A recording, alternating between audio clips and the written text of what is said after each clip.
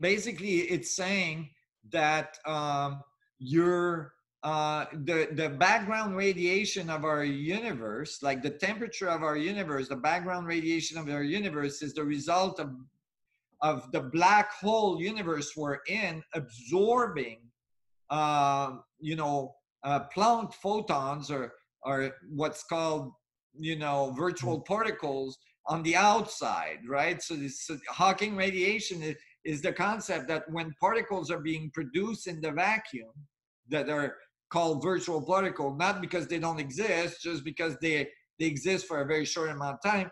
Um, when they're produced, one particle can fall in, one particle radiate out.